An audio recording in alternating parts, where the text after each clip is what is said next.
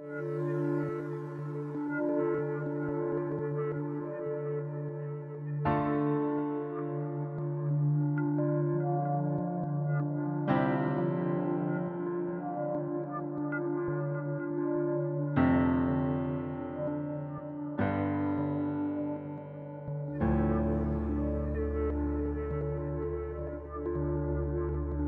Gatsamils ara teeth clean ara Mike Dangeli Dawayu Gingola Dawaku Simils di Badeko Vancouver Dewal.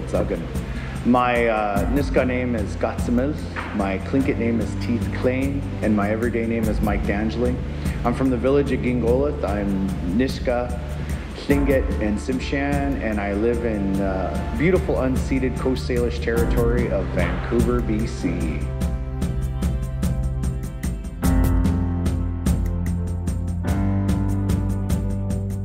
Well, uh, it's an absolute pleasure and, and, an honor to be here to work with Michael Greyeyes, uh, who contacted me. We've been uh, following each other on, on social media for some time now. And uh, we've been looking for a project to work together, and, and, hopefully, this has turned into other projects that we could eventually do together. Um, but I know that he was uh, preparing with uh, a play, directing a play with Yvette Nolan and they were wanting to do some birds and so they've contacted me to come on out here and do a workshop a week-long workshop talking about masks and, and my understanding of what we call naxnox that's our, our power masks and our power beans amongst my people. And it's been beautiful being in, in uh, at york in this beautiful studio to be able to create these six masks with some really wonderful uh, human beings. And we've all kind of put ourselves and our energy into this great project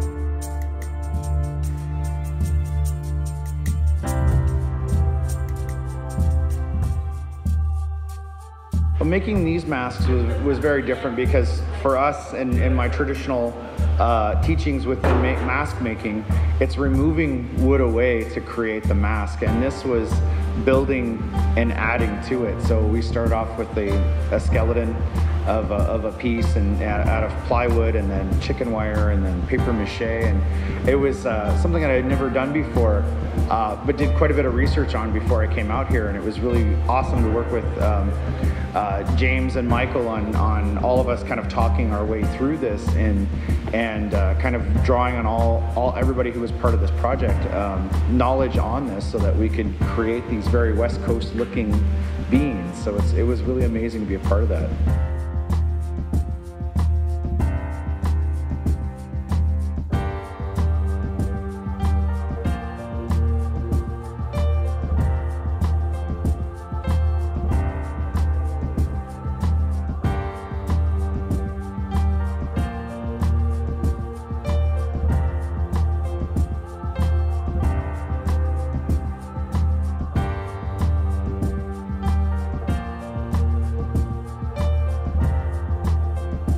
It's been wonderful in the way that um, people are so open to this whole entire experience. It's been um, uh, awesome in that in that aspect that we've had so many visitors coming and so excited about this process and creating these beans. Uh, and a very busy shop, which is awesome. I mean, you could definitely feel the energy from from the students and the people that are working on other projects, but also the group that has been working with this. It's been it's been a really uh, an amazing experience and quite the blessing.